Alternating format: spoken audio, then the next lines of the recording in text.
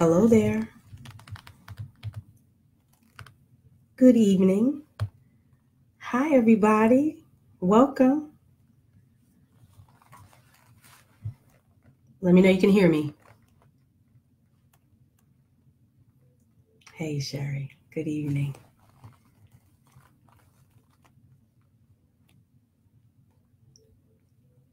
I'm about to do a live uh, vlog, young lady. Hello, godmother. Hello, cousin Sandra. How are you? Good to see you all.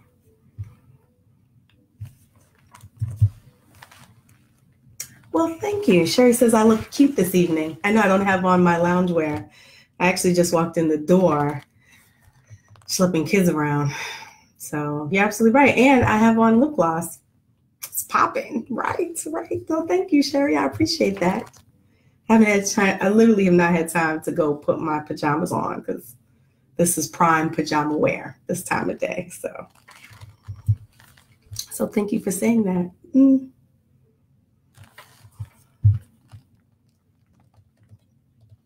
I got sorority sisters joining, unsorority sisters joining. I always say, you know, we're all different gangs. So thank you. It's actually good. Some of my um my children's teachers are joining us good because we have a good topic today that they are pretty familiar with. So I hope you all had a great weekend. I really do. Hey, I know you. Hello, singer. Good to see you. I'm trying to get to one of your gigs, so I'm hoping it'll be very soon. Singing was not my ministry, though I believe that it could be possible. Now, my children will tell you otherwise. They'll probably tell you that I sing in key W, key Z, key X. but in my mind, I'm Chaka Khan in my mind. oh, shoot. My sister in law's on. Hey, girl. How are you?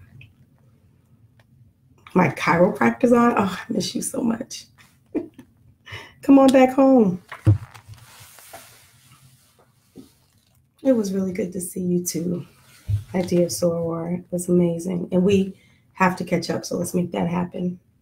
Okay, folks, it is um, seven o'clock or eight o'clock or five o'clock, depending on where you are. Good evening. I hope you are all doing well and um, hope you had a great weekend. I our weekend was pretty busy. Um, our weekend actually started a day early. Uh, the husband and I were um, co-hosting part of a hosting committee for our children's school, their annual fundraiser. So shout out to MCP.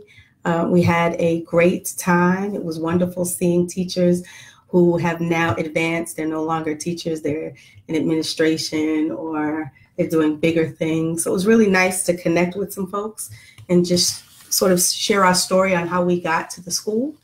Um, the fundraiser was an absolute success. So we are um, very excited. We raised more money than we have in previous years. So um, we're very excited about that. Um, Friday, I don't remember what I did. I think it was a blur. I don't recall. I don't remember. Like this, so we were running around so much. Um, Saturday, we were doing. Um, I had a sorority meeting, and then the husband and I are co-leaders of our church's marriage ministry. So we had an event on Saturday. So that was cool. Um, so shout out to our church, CTK um, for those married couples that came out. It was wonderful. We had a great time. Sunday, of course, was church, and I am also um, the assistant leader to our church nursery. So I love the babies um, and had a good time. Let me tell you something. So we do the nursery. It's you know zero to three years old. It goes down. It is lit in the nursery. It's lit. You know why it's lit? Because we have bubbles everything is better when you have bubbles, sugar. Everything. Those babies come and they see bubbles, they know it's about to be a lituation. And we have snacks. Teach them a little Jesus, and we send them home. So we had a good time. Uh, the husband and I had to put together our the baby's new bed, and that I hate that stuff. See, that's when I, I wish we like win the lottery so we can get people to do that for us. I hate putting together stuff. Hate looking at directions. And you know, the husband and I at some point get into a fight about whether or not part X goes with part Y. It's it's there are many times where I wonder why we didn't we, we were headed to divorce court. but the bet is up. Um, so that is fine. And then, you know, today running around school and uh, meetings, and the daughter had to get her hair done and all kinds of stuff. So before I start anything else, um, I want to say that tomorrow is an election day. Midterm elections, go out and vote, be heard. Um, it obviously your voice your voice matters because if it wasn't, there wouldn't be so many people trying to suppress it. So make sure that you go out and vote and see your people and vote for the right folks, whoever that is for you. Hey, Wonder Twin, how are you? Um, so, you know, I want to talk about today. I want to talk about the black shirt. And um, those who are familiar with uh, the daughter's school know exactly what the black shirt is. So, this um, episode is really about the daughter.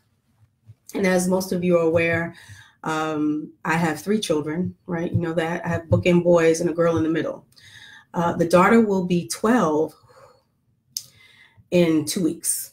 So she has a birthday coming up. She's very, very excited. She wanted me to order her a sash and a crown because that's what we do. We celebrate our birthdays all month long. That's how we get down. so um, I wanted to talk specifically about her because I wanted to talk about what happened to her over the weekend. Our daughter is very, very, very ambitious. She is driven. She is a go getter. She is um, very much an overachiever, very much so. Those who know our daughter know that she plays no games when it comes to her academics, none at all. So much so, and I think I mentioned this in a previous post, that she would like to attend boarding school for high school. I'm not happy about it at all, to be honest with you. Um, but she wants to do it. And so, um, actually, this upcoming weekend, we are going to go visit one.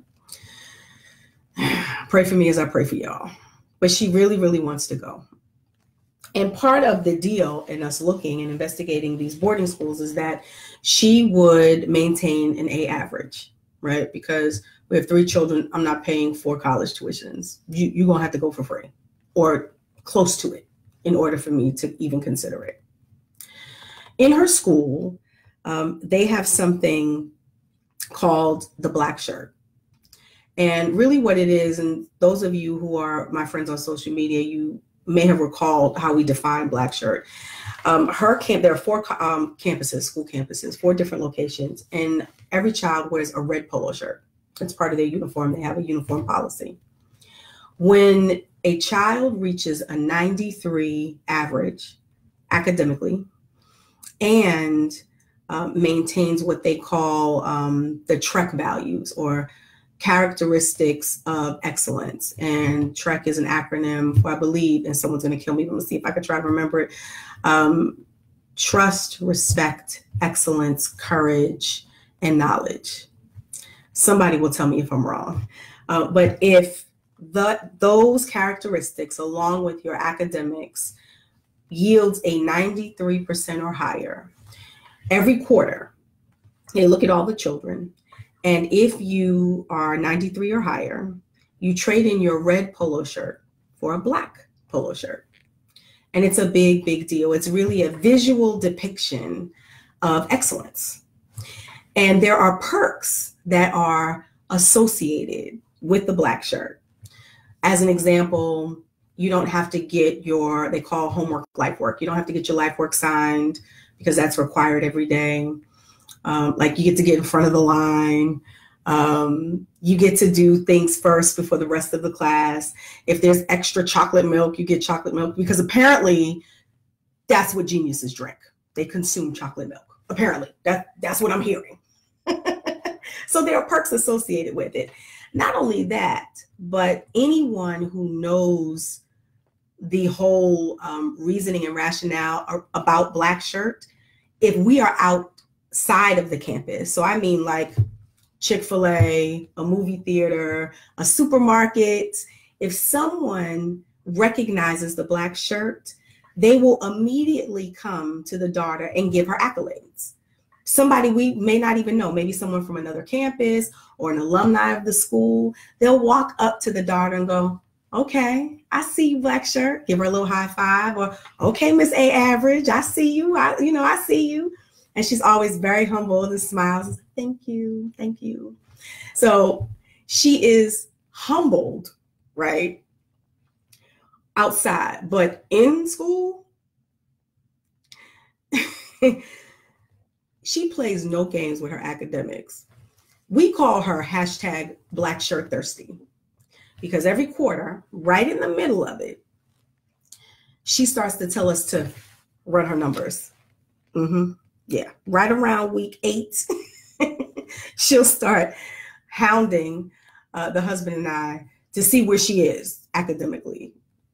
And then she'll decide it'll motivate her to move, you know, possibly do something else in order to boost that grade. So much so that if she feels like if she's in a group presentation and she feels like a member of the group or the entire group is not pulling their weight, she'll ask to move. she'll ask to do a project by herself. she is, when I tell you she is serious about her academics, she does not play. She has called out teachers. Every year, the daughter has what we call an epic math meltdown every year. She's been doing it since she was four. she gets frustrated. She has this love hate relationship with math. She, if she can do it, if she gets it, the concept right away, she loves it. If she doesn't and it takes a little time, she gets frustrated. She has called teachers out, threatened them. and when I say threaten, threaten their salvation, said that she would um, bother them in heaven. That's a quote. Mm-hmm. Yeah. She plays no games. And black shirt is it repeats every quarter. So just because you get it once doesn't mean you'll get it all year. It really is based upon your grades every quarter. Friday is the assembly. And so um, at the end of the quarter, there's an assembly and they give children, you know, their different awards. And the last thing they do is they name the black shirt children and they probably get maybe 10% of the entire class, which isn't a lot. Somewhere between three and eight, maybe. I may have seen 10. That's the highest I've ever seen it. And when they announce Black Shirt, when I tell you you can hear a mouse piss on cotton, when I tell you it is quiet, quiet, like you can't you it is silent and they name each child and everybody's excited for them, etc. Friday was the assembly. They announce the black shirt uh, recipients. The daughter is already a black shirt. She came into the quarter black shirt. Call the names, and the daughter loses her black shirt by three tenths of a point. She got a 92.7. And she was devastated. When I tell you she was devastated, she called me hysterical, crying. Mom, I didn't get it. I didn't get black shirt. Tears, tears. I said, okay, sweetheart, I'm on my way. Now, she, I'm, I'm actually kind of surprised that she had such a meltdown because she has come closer than that. A couple of quarters ago, she missed it by a tenth of a point. She had a 92.9 a couple of quarters.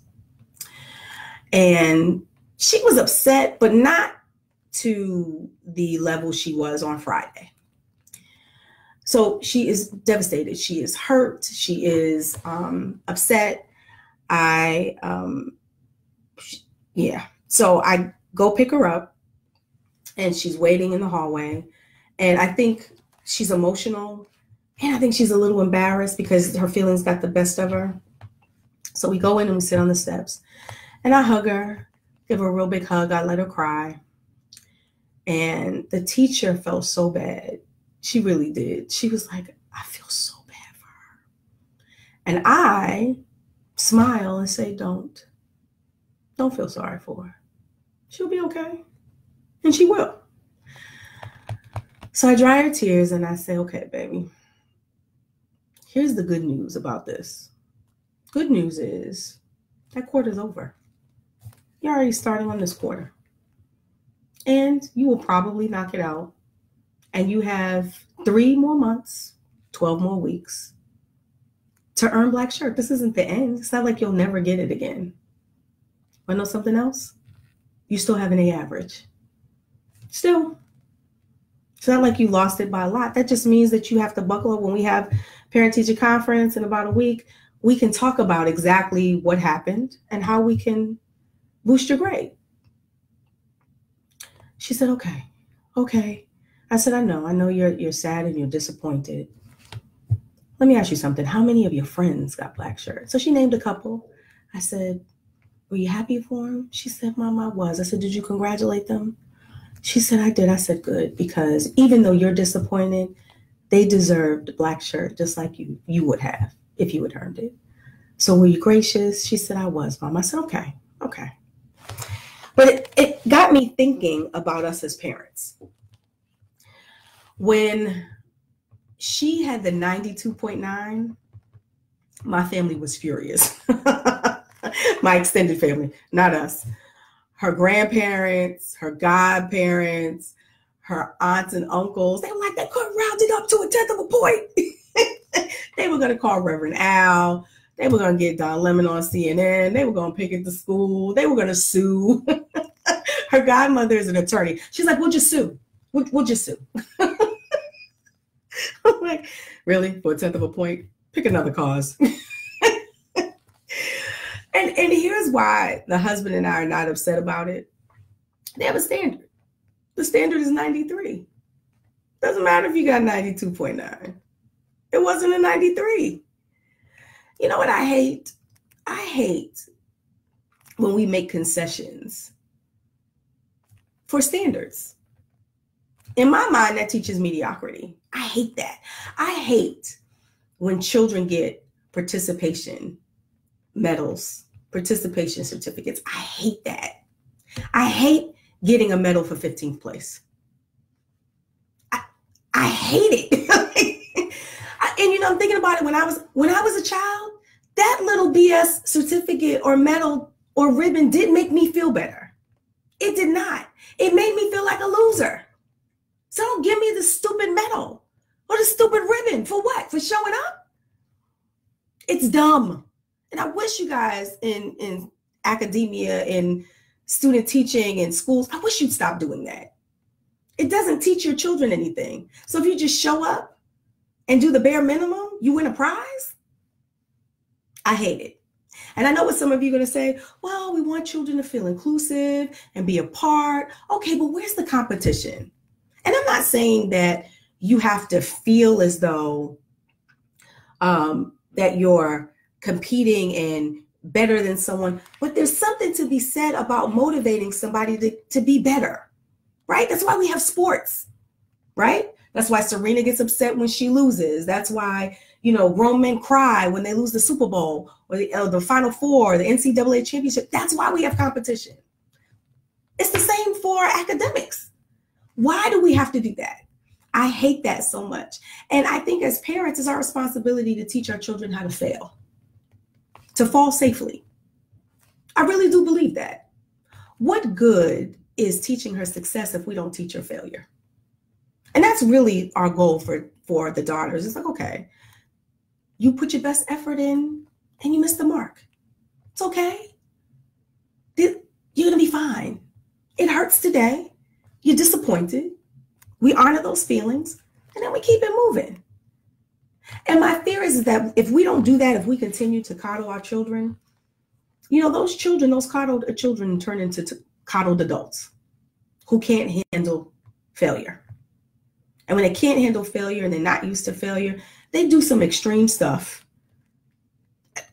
to themselves or other people. You can say what you want. I have seen it firsthand how people who don't know how to fall, they don't know what to do with themselves. They don't know what to do with themselves emotionally. They don't do it, know what to do with themselves physically. They don't know what to do with themselves. And it scares me. It feels like to me, I, and, and maybe just because I'm old, because I'm, I'm old, um, I don't view failure as a failure. I view it as a learning opportunity. Right? Like, isn't that people teach you? Failure is not failure. It's just an opportunity for you to learn to be better at something, at something or something else. Maybe that particular thing is not your gift. Maybe you're supposed to be doing something over here. Or maybe that is your gift, but you didn't put the effort in. I mean, it, it there's always something to learn from something. I don't even believe in failure. If you fail a grade, okay, because it has to be some sort of um, validation of the work that you do, right? So that there, some of that is effort, but I don't view it as failure. I didn't. I don't think that my daughter failed at all. You know, to me, it's like riding your bike. You know, when we were kids. Now, when I was growing up, full disclaimer, because I have family on um, on this video um, you know, we didn't have helmets and knee pads when I was growing up. You fell, you fell. you got on that 10 speed bike, that Huffy, that tricycle, whatever it was. You fell, you fell. You skinned your knee or your elbow. You got up. You went home, got that burning iodine with the red stuff or some neosporin or whatever it was. You know, your mother kissed it, cleaned it up, put a nice band aid on it, and you kept it moving. You know what you did? You got back on the bike. That's what you did. You got back on the bike. You learned a couple of things, maybe how to use the brakes, maybe turn the handlebars a certain way, maybe not ride your bike in the grass. Who knows? But you learned something. But you got back on the bike. That's the whole purpose. That is the analogy of the of life, right? How do you know your resilience if you never fall? How do you know you can get up if you don't fall? And we as parents have to teach our children to fall safely. That's our job. I let my children fall. Now I'm there. I'm not going to let them fall too hard. But I do want to be there to pick them up, show them how resilient they are, and let them keep going. That's what you're supposed to do. Do you know how many coddled adults we have? Think about it. How many adults that you know of that can't handle losing to them, failing, making a mistake?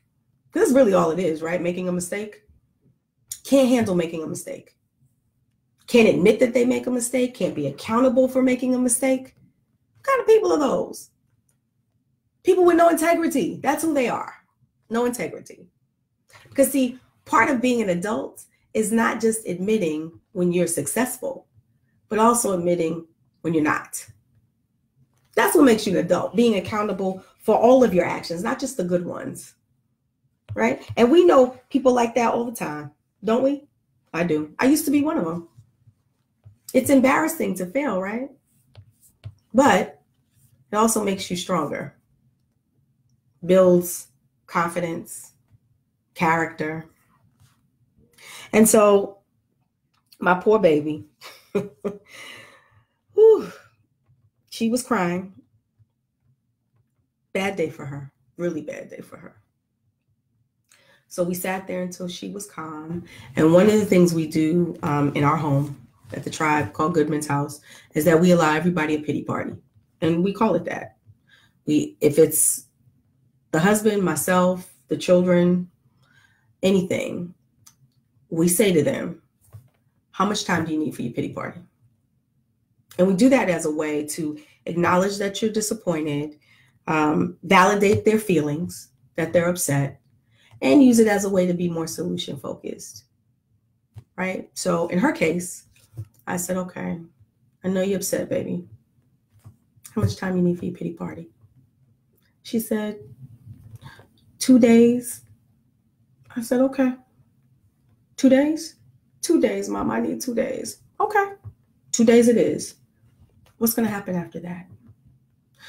Then I'm going to figure out, we're going to go to parent teacher conference next week and, uh, and I'm going to figure out what I did and what I need to do for next quarter. Okay. I said, you know what? She said, what? I said, you still have an A average. Still. It's not going to hurt you. You're not going to die over it. You're still the same little girl you were when you got up this morning. It's life, sweetheart. It's how you learn. You know how long her pity party lasted? Exactly 57 minutes. Mm-hmm. Picked her up. We went for ice cream. She talked to her brothers, laughed a little bit, and it was over. 57 minutes. That's all. So, in my mind, we are succeeding as parents because if she can get over that, as upset as she was, we're not doing too bad. We talked about it for a little bit and it was over. So, that is my rant today. Teach your kids how to fail. Be a safe place for them when they fall so that you can catch them, hoist them back up, and let them soar. That's what we're learning every day with these children of ours. She was hot too. Man, if you could see her when she snitches on her her classmates about when they're not putting in their full potential, she is so obnoxious. but I can't be mad at her for loving her academics. Can't be mad at her for that. So there I am for today. Short, quick, to the point. Mm, mm, mm, I would have music, but you know, Facebook knocks you out when you do that. No, Miss Vivian, I'm not wearing black in her honor. I'm wearing black because it makes me look skinny. so with that, folks, love y'all so much. Thanks for watching. Oh, and I so appreciate you. Appreciate you. Please, please, please continue to share my YouTube channel. I have almost a hundred of you, so thank you for that. I really, really appreciate that. Um, it means the world to me. If you like it, keep forwarding. I appreciate you so much. And I'm out of here. So have a wonderful week. Don't forget to vote tomorrow. Be a voice and be heard. Okay. And we'll talk soon. Talk to you later. Bye.